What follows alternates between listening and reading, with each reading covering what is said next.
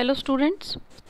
Today we are going to learn about uh, fiber to fabric ये हमारा six class का chapter number three है.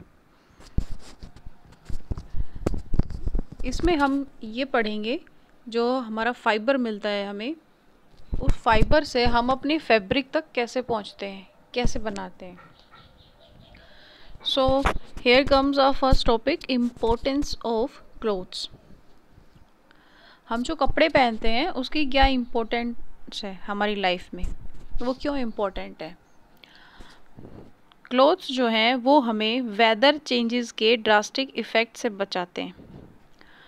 देखो clothes are mainly use to protect us from cold heat and rain गर्मियों में धूप से, सर्दियों में ठंडी हवाओं से और बारिश में हमें बारिश से कपड़े बचाते हैं। अगर हम क्लोथ्स पहनेंगे तो हमारी बॉडी पर इनका डायरेक्ट इफ़ेक्ट नहीं होगा। सेकेंड थिंग जो मॉस्किटोज़ या स्मॉल हाउस फ्लाइज वगैरह प्रेजेंट होते हैं हमारे चारों तरफ़ इंसेक्ट्स प्रेजेंट हैं, उनकी ईचिंग से भी हमें क्लोथ्स जो हैं वो प्रोटेक्ट करते हैं। तो हमारे पास क्लोथ्स की दो इंपॉर्टेंट पॉइंट्स हो गए। First it protect us from harsh condition of weather second it it's protect us from insects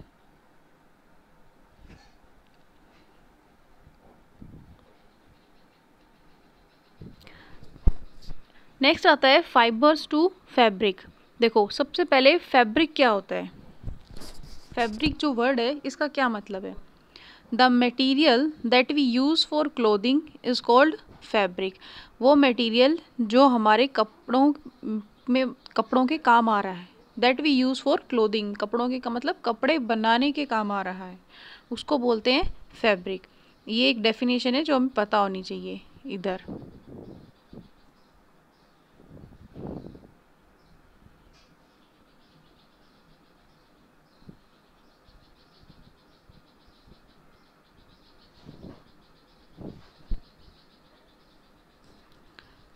The material that we use for clothing is called fabric. अभी फैब्रिक जो है वो बनता किससे है?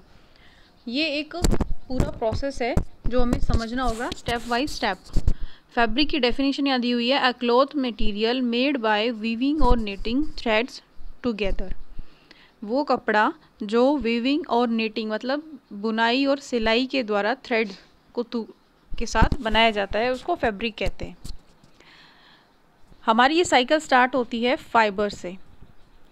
फाइबर जो है, वो हमें कहाँ से मिल रहे हैं? वो हमें नेचर से मिलते हैं। यहाँ हमारे चैप्टर में नेचुरल फाइबर्स के बारे में बताया हुआ है। वैसे फाइबर मैन मेड भी हो सकते हैं, जिनका नाम होता है सिंथेटिक फाइबर सिंथेटिक फाइबर हम केमिकल्स का यूज़ करके अपनी लैब्स में या फैक्ट्रीज़ में बनाते हैं। यहाँ पर हम पढ़ेंगे नेचुरल फाइबर्स के बारे में। यहाँ कुछ एग्जांपल्स दिए हुए हैं cotton wool silk and nylon are common fabric. ये कुछ फैब्रिक्स हैं। देखो, एक एक्टिविटी के द्वारा आप फैब्रिक के बारे में पढ़ सकते हो। ये एक्टिविटी है, इसमें आपको क्या करना है, कुछ फैब्रिक लेने हैं, जैसे कि सिल्क, कॉटन, नायलॉन, पॉलीएस्टर, और इनको फिर चेक करना है। ये आप अपने घर पे भी करके देख सकते हैं इस एक्टिविटी को। पहला हमें चेक करना है टेक्सचर। टेक्सचर क्या होता है? टेक्सचर हमें किसी भी फैब्रिक के स्मूथ और रफनेस के बारे में बताता है। अगर हम उसे टच करके देखेंगे तो हमारे हाथ को, हमारी स्किन को कैसा फील होता है उसे टच करने पर, वो बताता है उस कपड़े का, उस फैब्रिक का टेक्सचर। सेकंड होता है अपीयरेंस। अपीयरेंस का मतलब वो देखने में कैसा है? शाइनी है या डल है? देखो, सिल्क जो है वो कैसा रहेगा? शाइनी। और कॉटन थोड़ा सा डल कलर में मिलेगा आपको। थर्ड प्रॉपर्टी है water absorbing capacity water absorbing capacity का मतलब जब हम इन फैब्रिक को वाटर के अंदर डिप करते हैं मतलब भिगो के रख देते हैं तो कौन सा फैब्रिक सबसे ज़्यादा वाटर को एब्जॉर्ब करता है? इसमें अगर हम देखें तो कॉटन जो है, वो सबसे ज़्यादा वाटर एब्जॉर्ब करेगा। नायलॉन और पॉलीएस्टर जो हैं, वो सिंथेटिक फैब्रिक है। मतलब केमिकल्स का यूज़ करके बनाए गए हैं तो इनकी वाटर एब्जॉर्बिंग कैपेसिटी थोड़ी सी वीक होगी as compare to natural fabric second activity आपको बताती है to understand what the fabrics are made of हम इसमें ये देखेंगे कि फैब्रिक जो है वो किस से बने हुए हैं। सबसे पहले आपको क्या करना है, एक वेस्ट कॉटन का फैब्रिक लेना है। वो कपड़ा जो वेस्ट है अब आपको क्या करना है? वेस्ट जो कॉटन का कपड़ा है, वो एक साइड से कटा हुआ होगा।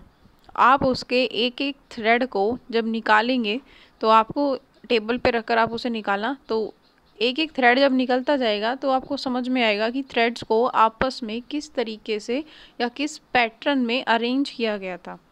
उनके अरेंजमेंट से वो पूरा फैब्रिक आप, वो थ्रेड जो है वो कनेक्ट हो गए और वो फैब्रिक बन गया।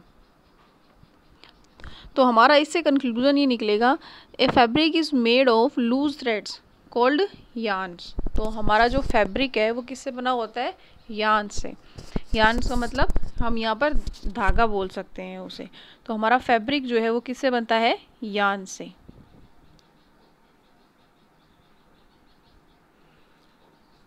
नेक्स्ट आता है हमारे पास टाइप ऑफ़ फाइबर्स तो मैंने आपको बताया था, हमारे पास दो टाइप के फाइबर हैं नेचुरल और मैन मेड मैन मेड को हम सिंथेटिक फाइबर भी बोल देते हैं. The fibres are broadly classified into two groups these groups are natural fibre and man made fibre natural fibre जो हमें नेचर से मिलते हैं तो इनके सोर्स क्या होंगे? पहला सोर्स है प्लांट्स और दूसरा है एनिमल्स जो हमें प्लांट से मिल रहा है वो है jute wool, silk, cotton and linen ये सब हमें, और दूसरे जो टाइप्स के बताए मैंने आपको एनिमल एनिमल फाइबर में हमें मिलते हैं वूल, सिल्क। ये नेचुरल फाइबर्स हैं मतलब ये हमें नेचर के द्वारा दिए गए हैं।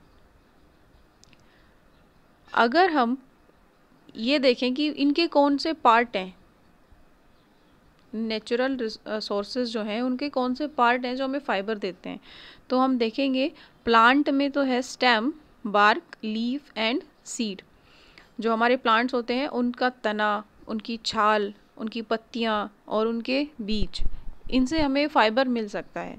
एनिमल्स में हमें मिलता है हेयर और इंसेक्ट कुकून हेयर मतलब शिप जो होती हैं या गोट होती हैं, उनके जो हेयर होते हैं स्किन के ऊपर उससे हमें फ़ाइबर मिल, उससे हमें मिल, उनके जो हेयर हैं, उन्हें हम एज अ फाइबर यूज़ करते हैं। और जो सिल्क है, वो हमें सिल्क वॉम से मिलता है और सिल्क वॉम का एडल्ट से पहले एक स्टेज आ रही है कुकून उसी कुकून को हम बॉइल्ड वाटर में डाल देते हैं, जिससे हमें सिल्क मिलता है। मैनमेड फाइबर के एग्ज़ाम्पल दिए हुए हैं। They are made from chemicals and chemistry ये लिखा हुआ है यहाँ पर देखो। ये मैनमेड फाइबर जो हैं, ये फैक्ट्रीज़ में केमिकल्स का यूज़ करके बनाए जाते हैं।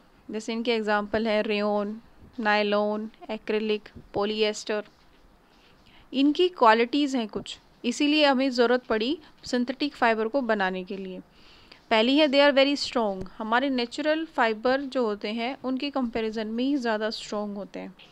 अगर आप एक कॉटन की शर्ट और एक नायलॉन की शर्ट का कंपेयर करोगे तो स्ट्रॉन्ग का हमें कैसे पता चलेगा? हम देखते हैं, हमने जो कपड़ा लिया हुआ है, जो फैब्रिक है हमारे पास, उसकी ड्यूरेबिलिटी क्या है? मतलब वो कितने दिन तक चलेगा? तो नायलॉन की शर्ट जो है वो ज़्यादा ड्यूरेबल है। सेकेंड है they are easy to clean and they dry quickly मतलब ये बहुत ही आसान है धोना नायलॉन को सिंथेटिक फाइबर्स को। अगर इन पे कोई दाग वगैरह लग जाता है तो वो बहुत इजीली रिमूव हो जाता है। लेकिन अगर नेचुरल फाइबर पर या फैब्रिक पर ऐसा कुछ लग जाता है, दाग या स्टेन तो उसे निकालने में हमें थोड़ी सी मेहनत करनी पड़ती है। और जब हम इन्हें सुखाते हैं तो दे ड्राई अप क्विकली तो वो जल्दी सूख जाते हैं। क्योंकि हम एक पहले क्वालिटी देख चुके हैं वाटर एब्जॉर्बिंग कैपेसिटी तो जो सिंथेटिक फाइबर्स होते हैं, उनकी वाटर एब्जॉर्बिंग कैपेसिटी पानी को सोखने की क्षमता जो है वो बहुत कम है as compare to natural fibre next है they need little ironing as they do not wrinkle easily जो कॉटन है और जो सिंथेटिक फाइबर हैं या नेचुरल फाइबर हैं, उनके अगर हम कंपेयर करें आयरनिंग में मतलब हम देखें कि किस पर सिलवटें ज़्यादा पड़ती हैं तो हमारे सिंथेटिक फाइबर्स जो होते हैं, उन पर रिंकल्स नहीं आते हैं। उन्हें हमें प्रेस करने की ज़रूरत नहीं है। लेकिन जो नेचुरल फाइबर से बने हुए कपड़े हैं, उन पर रिंकल्स बहुत जल्दी आ जाते हैं और हमें बहुत मेहनत करनी पड़ती है उन रिंकल्स को रिमूव करने के लिए। They do not absorb sweat sweat मतलब पसीना। जो वाटर एब्जॉर्ब कैपेसिटी नहीं है तो वो स्वेट को कैसे एब्जॉर्ब करेगा? तो जो सिंथेटिक फाइबर्स होते हैं, वो स्वेट एब्जॉर्ब नहीं करते हैं। दे कैच फायर ईजिली ये आग को बहुत जल्दी पकड़ लेते हैं। देखो, आपने दिवाली का जब सीज़न आता है, तब सुना होगा नॉर्मली बहुत सारी एडवाइस दी जाती हैं उस दौरान और उस फेस्टिवल को सेलिब्रेट करने के दौरान। और एक, उनमें से एक एडवाइस ये भी होती है कि कोई भी सिंथेटिक कपड़े पहनकर, ना तो क्रैकर्स को बर्स्ट करेगा, ना किचन में जाएगा।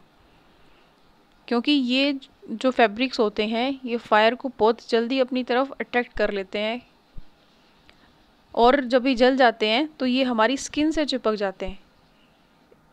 और हमारी स्किन से अटैच होते ही ये हमें भी बर्न कर सकते हैं बहुत इजीली इसलिए फेस्टिवल दिवाली फेस्टिवल के दौरान आप लोगों को बोला जाता है कि सिंथेटिक फाइबर का यूज़ ना करें। तो आज हमने क्या क्या पढ़ा? सबसे पहले हमने देखा इम्पोर्टेंस ऑफ़ क्लोथ क्लोथ की क्या इम्पोर्टेंस है हमारी लाइफ में? वो हमें कैसे सेव करता है? सेकंड हमने देखा फैब्रिक की डेफिनेशन मतलब फैब्रिक क्या होता है? वो कपड़ा जिसको सील कर या बुन कर हम अपने पहनने वाले कपड़े बना सकें, उसे फैब्रिक कहते हैं। फिर हमने अलग अलग फैब्रिक्स की क्वालिटी को कंपेयर किया और एक एक्टिविटी की जिसमें हमने देखा कि एक, को जो थ्रेड्स होते हैं, उनका अरेंजमेंट आपस में इस तरीके से होता है और अरेंजमेंट से कैसे हम एक फैब्रिक को बनाते हैं। उसके बाद हमने टाइप्स ऑफ़ फैब्रिक देखे।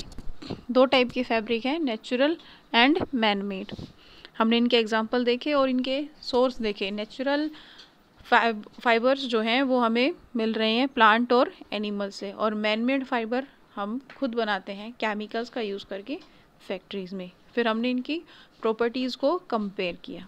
नेक्स्ट लेक्चर में हम पढ़ेंगे हमारे फ़र्स्ट नेचुरल फाइबर के बारे में दैट इज़ कॉटन